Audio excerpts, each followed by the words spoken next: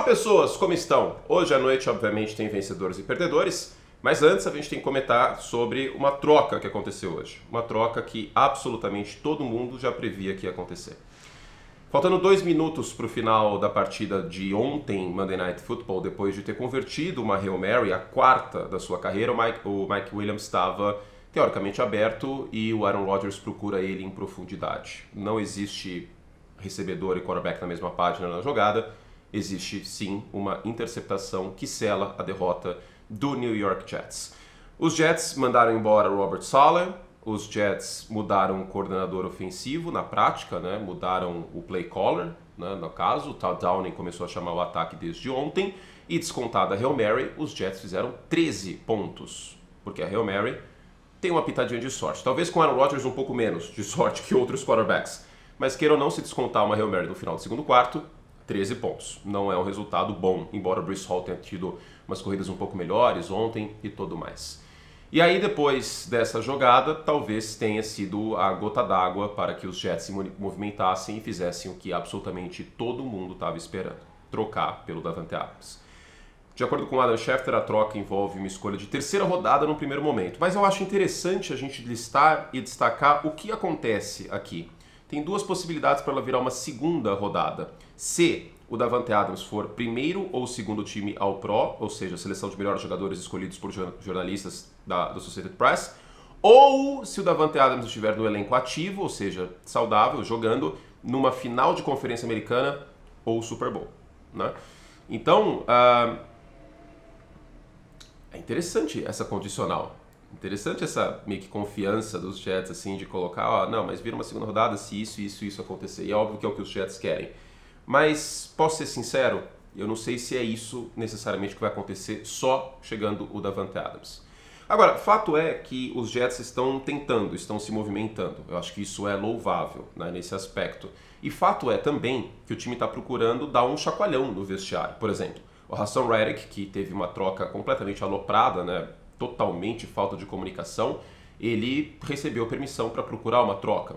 Alô Detroit Lions.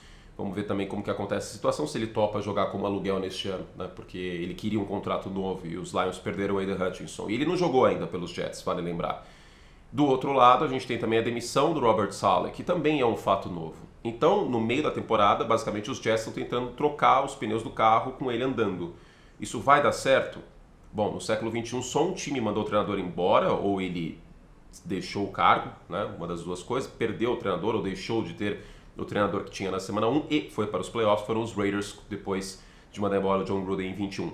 Então, uh, a situação é bastante delicada nos Jets. Essa, essa partida contra os Bills era muito importante, né? porque ganhar a divisão vencendo aqui os Bills tal, era um caminho até possível, mas agora ficou um pouco mais complicado. Acho que o favoritismo na divisão de Buffalo acabou se confirmando depois da vitória de ontem. Né? Eu vou falar sobre isso no Vencedores e Perdedores, embora a gente tenha que destacar negativamente um pouco a defesa de Buffalo em big plays. Mas vamos lá, por que Davante Adams? Né? Por que Valdemar? Por que Davante Adams? O Davante Adams é o recebedor que mais tem jardas via Aaron Rodgers. De todos os wide receivers, tight ends, running backs que o Rodgers passou na carreira, ninguém tem mais do que o Davante Adams, são mais de 7 mil. O Davante Adams é o cara com mais recepções via Aaron Rodgers também. O Davante Adams foi discutivelmente a, o wide receiver que o Rodgers teve a maior química e melhor química, especialmente na red zone, né? porque uma crítica que a gente fazia na época em relação ao Matt LaFleur era o desenho das jogadas na red zone, na época de Green Bay, e muitas vezes o Davante Adams que resolvia a situação ali, criando separação, ouvia um back shoulder, alguma coisa assim, e no talento dos dois as coisas se resolviam. Né? Green Bay, nos dois anos de MVP do Aaron Rodgers, não foi um time top 5 em produção na red zone. Pois bem, neste ano os Jets são 18º na red zone. Não é um bom desempenho. Os wide receivers dos Jets têm 53% de recepções na red zone, 24 e tem 3 drops. Nenhum time tem mais drops na red zone, nas 20 jardas finais do campo, quanto o New York Jets, de acordo com o Pro Football Focus. Então, é mais do que evidente que a sintonia Garrett Wilson e Aaron Rodgers não está funcionando como a gente esperava. Teve touchdown ontem, teve touchdown contra os Patriots, mas não está funcionando como a gente esperava. A gente esperava muito mais. E para além disso, lembra em agosto que eu batia nessa tecla? Quem vai ser o recebedor 2 dos Jets? Primeiro que o 1 um não está sendo uma produção de recebedor 1, um, começa por aí. Segundo, que o jogo terrestre não está tendo uma produção de um Bruce Hall, running back top 5, que eu acho que ele tem talento para isso. E terceiro, que não tem um recebedor número 2. Vezes foi o Mike Williams tentado, o Alan Lazard, que recebeu a Hail Mary, mas, gente, Alan Lazard não dá, né? Então, agora os Jets têm o Garrett Wilson e o Davante Adams. Garrett Wilson, um excelente corredor de rotas, e o Davante Adams, ainda um excelente corredor de rotas, e uma legítima arma na red zone. E um problema para os Jets nos últimos jogos vem sendo pontuar.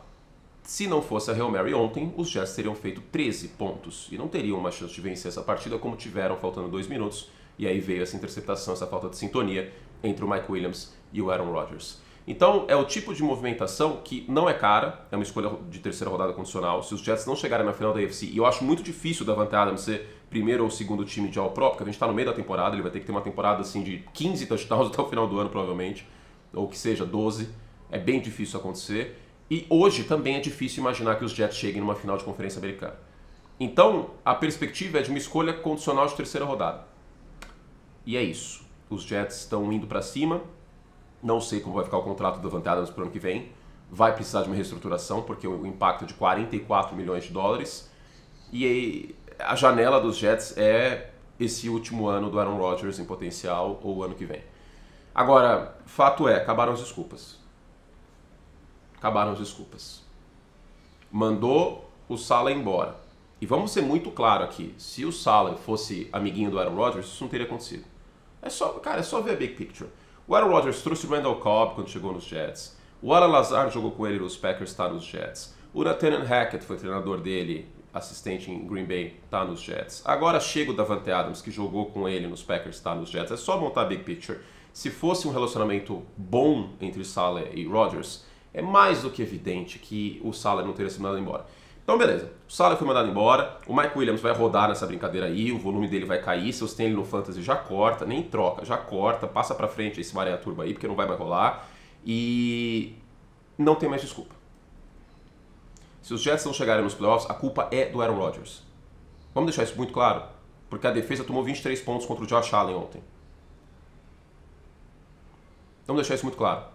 Se os Jets não chegarem na pós-temporada neste ano, a culpa é do Aaron Rodgers não é só do Uri Johnson, do Robert Sala, das chamadas do Hackett, da chamada. Então, quer dizer, muda tudo, traz o cara que, que, que, jogou com ele, que tem maior produção, e mesmo assim o time não vai para a pós-temporada, porque a defesa não é ruim. Aí a culpa vai ser de quem? A culpa vai ser do Aaron Rodgers, por mais que a Hail Mary tenha sido espetacular. Certo? Agora eu quero saber de você que está assistindo esse vídeo. Almoçou? o que você almoçou? Não, falando sério. É, quero saber de você se os Jets vão para os playoffs. Coloca aí nos comentários. E lembrando, temos vídeos para os membros Like Plus. Sim, como sempre, vai ter análise de Houston e New England, vai ter análise de Washington e Baltimore, os cinco coisas que você precisa saber. Vai ter também o hoje ainda, tá? Tudo isso. Os cinco perguntas respondidas na semana 6, que é o que eu faço no vídeo de prévia, e eu respondo para os membros na terça ou segunda-feira da semana seguinte. Então vem junto com a gente Vamos nessa. Tem exagero fato para os membros nessa semana também. E amanhã tem live. Mas hoje, à noite, ainda tem vencedores e perdedores. Fizemos o que podíamos. Um beijo carinhoso. Não deixe de dar like no vídeo. Beijos. Tchau.